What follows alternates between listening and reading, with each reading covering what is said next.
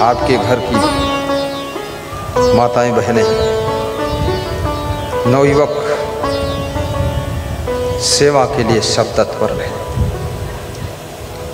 अपने घर के बूढ़ों को भी नज़रअंदाज मत करना।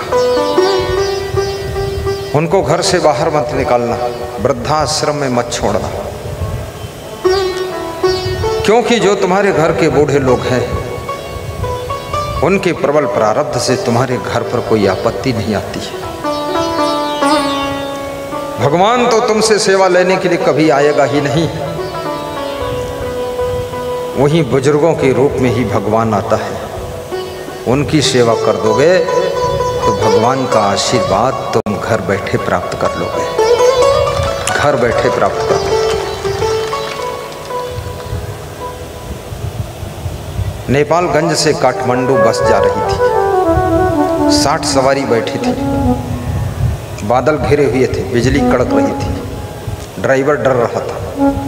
बिजली चमक कर बस के पास आ जाती थी। ड्राइवर को भय लगता था, बिजली कहीं बस पर न गिर जाए। चौड़ी सड़क जहाँ मिली, वहाँ बस रोका सवारियों से कहा कि, उतरो।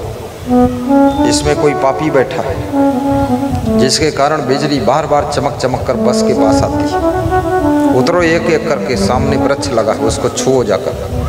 जो पापी होगा, उसके ऊपर बिजली गिरेगी। सब गए, उस पेड़ को छू छू कर आई बिजली नहीं गिरी। एक बूढ़ा बचा, उनसठ लोग जाके आ गए।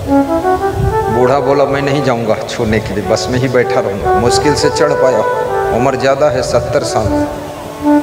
ड्राइवर ने कहा, उतरना पड़ेगा। सब सवारियाँ अड़ गई। तेरे को उतरना पड़ेगा, पेड़ को छूना पड़ेगा। तू ही पापी हो सकता, तेरे कारण सब मर सकते हैं। अब बिजली गिरी बस पर तो जल जाएगी, बस राख हो जाएगी। बूढ़े को ढकेल कर ज़बरदस्ती उतारा। बूढ़ा रेंगता हुआ गया और ज्यों ही उस बूढ़े ने पेड़ को छुआ, त्यों ही बिजली ज़ोर से कड़की और धड़ाम से गिरी। बिजली कहाँ गिरी? वो बस पर गिरी। और बस में जो उनसठ लोग बैठे थे, वो सब मर गए और बूढ़ा सुरक्षित रहा तब उनको पता चला कि इस बूढ़े के बैठने से ये पुण्य आत्मा था, जिसके कारण बिजली गिरने की कोशिश तो करती थी, गिरती नहीं थी, और इसके उतरते ही बस के ऊपर बिजली गिर गई। याद रखना तुम्हारे घर में जो बूढ़े लोग हैं, वे जब तक घर में हैं, तब तक कोई भी आपत्ति की बिजली नहीं गिर रही है। उनको जिस दिन बाहर निकाल दोगे, उसी दिन आपदा की बिजली गिर पड़ेगी, और तुम सब भस्म हो जाओ बोलिए, सदगुरुदेव की जय। उनकी रक्षा करो, सुरक्षा करो। दो बातें सहना भी सीखो। क्योंकि जो सह नहीं सकता है, वो सेवा किसी की कर नहीं सकता। हमारे आश्रम के संचालक साहब की सेवा जो लोग करते थे, पंचानवे साल की उम्र में माइंड काम नहीं करता था। तो जो सेवा करता था तो उसके चुकड़ियाँ काटते थे वे और डंडा पा जाते थे, डंडा मारते थे। तो हमने कहा, डंडा क्यों मारते हो? डंडा मारोगे? सेवा कौन करेगा? बोले, अब नहीं मारेंगे। और फिर दूसरे दिन डंडा चला देते थे। और उसके थप्पड़ मार देते थे। तो हमारे संत भी महान थे। वो थप्पड़ मारते थे, संत हँसते थे और सेवा करते थे। और उसी सेवा का फल है कि दिन दोना रात चौगुना उन्नति होती चली जा रही है, प्रगति होती चली जा रही है और साधु संत सब खुशहाल है और धर्म का प्रचार प्रसार भी होता चला जा रहा है। अपने बुज़ुर्ग गुरु की भी सेवा करो ढंग से, उसके लिए तन मन धन लगाओ। ऐसा नहीं गुरु से ज्ञान ले लिया, कंठी पहन लिया। चेला रमता राम। कितने चेला लोग तो ऐसे हैं गुरु मंत्र ले लेते हैं और भैंस ले लेते हैं। उसके बाद गुरु उनको ढूंढता है, वो ढूँढने नहीं मिलते हैं। और चेला निकल गया। कहीं यहाँ पूजा रहा, कहीं वहाँ पूजा रहा, बड़ा पंडा पुजारी हो गया। ऐसा नहीं, गुरु के पास रह करके भी सेवा कीजिए। और गुरु से जुड़े रहिए। साधु संतों की भी सेवा कीजिए। गाय की सेवा करोगे, दूध मिलेगा। संत की सेवा करोगे, ज्ञान, आशीर्वाद मिलेगा। और याद रखना, बुज़ुर्गों की सेवा में करोगे तो जो कहीं नहीं मिला, वो सब कुछ मिलेगा। ज़रूर मिलेगा। पति की सेवा करने से सुहागवती रहने का आशीर्वाद मिल जाता है। पति को सताना नहीं चाहिए। और बीमार पत्नी की सेवा करने से याद रखना, तुम्हारा यश फैलता है। ऐसा नहीं, पत्नी बीमार हो गई तो छोड़ दिया। ये नहीं, स्वार्थी रिश्ता नहीं है।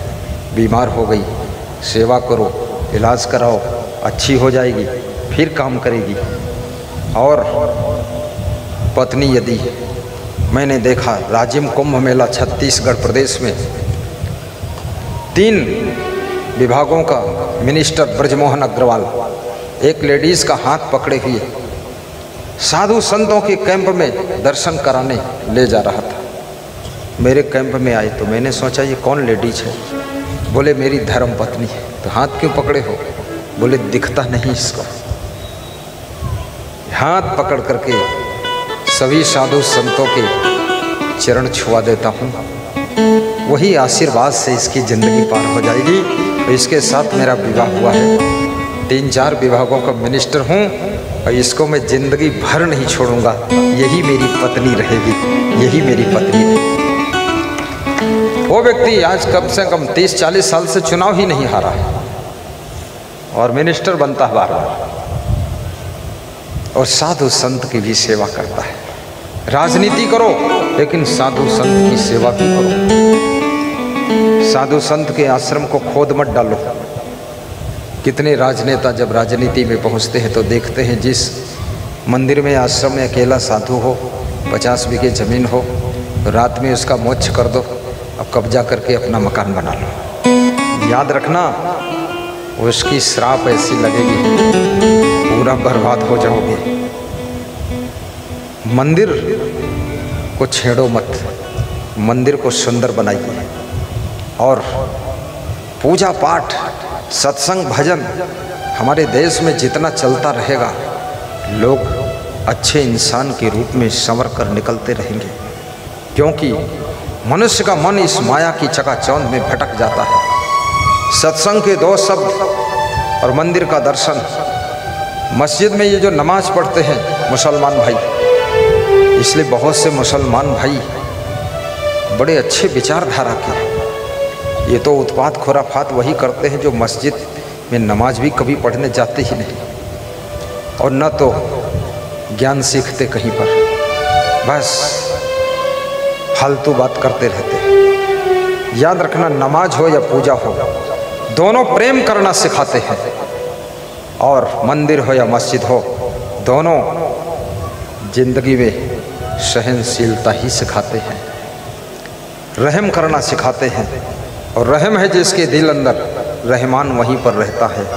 रहम न जिसके दिल अंदर, शैतान वहीं पर रहता है। शैतान वहीं पर रहता है।